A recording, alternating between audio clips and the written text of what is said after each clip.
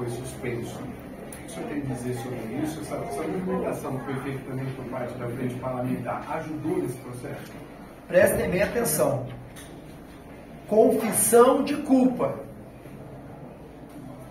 Nós já tínhamos alertado o Rio Grande do Sul, que é o maior produtor de arroz, tinha já feito a sua colheita em condições claras, transparentes, ditas pela Farsul, pela, pela Federal Arroz, que teríamos condições de suprir o mercado interno. O ato do governo federal foi assodado, irresponsável e desumano, porque o Rio Grande do Sul clama por ajuda.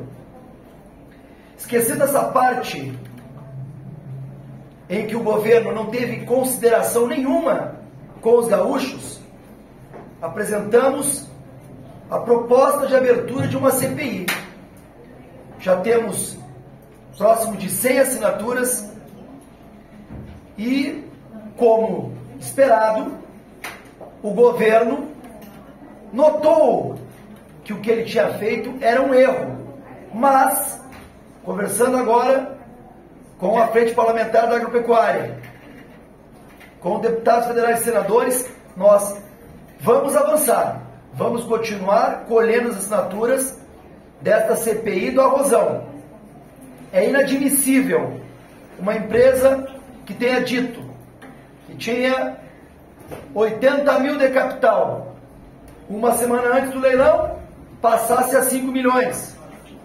Empresas com razão social, de sorveteria, venda de queijo, locação de maquinários pesados, venda de sucos, sem expertise nenhuma, ganhando uma licitação, no mínimo suspeita.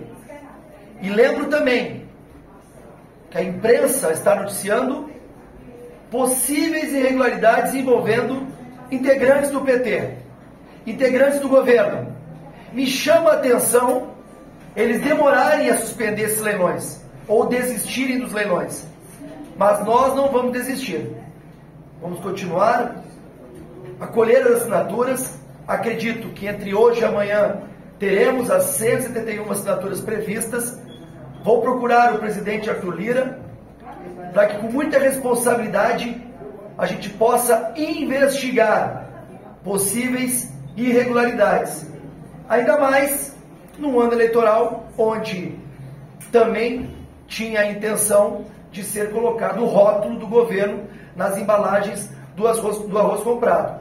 E para terminar, a Anvisa em nenhum momento veio a público falar da procedência, da qualidade e da segurança alimentar desse arroz. Deputado, chegou a ser procurado pela liderança do governo? Governo falou de O governo não nos procura, até porque sabe que estava errado. Nós, na noite de sábado, quando publicamos que íamos começar a trabalhar com esta CPI, já verificamos alguns movimentos. Logicamente que parlamentares de esquerda comentaram que não era necessário, mas chamou a atenção que na medida que a gente está próximo de atingir os números dessa assinatura, esta ação tenha sido tomada. Na minha visão, estão assumindo aí alguma culpa que tem que ser investigada. Deputado, diz que há suspeita de montagem de cartel, vocês têm alguma informação a respeito disso? Olha, vocês podem, e vários veículos de imprensa estão fazendo um trabalho muito importante positivo, analisando, verificando os contratos, a história dessas empresas e a gente não quer antecipar nada que essa CPI claramente pode mostrar. Era isso, né, pessoal? Como que o senhor pretende conversar com o presidente Arthur Você acha que o fato de anular o leilão ajuda o recolhimento das assinaturas? Você acha que impulsiona essa CPI? Na verdade, nós teríamos as 171 assinaturas de forma muito tranquila. Os parlamentares recentes estão recebendo o link, nós já temos mais de 100 assinaturas. Eu acredito que esse recuo, essa desistência, é, seja até algo muito negativo para o governo. Eles com certeza verificaram algo de errado e isso a gente tem que analisar de forma muito clara agora por meio de uma CPI. Mais uma vez agradecendo o papel da imprensa que teve com certeza ah, uma ação fundamental, pois desde o dia que nós começamos a colecionadora, ah, o governo começou a se posicionar preocupado com o que tinha acontecido nessas licitações. Era isso, pessoal. Obrigado. Viu?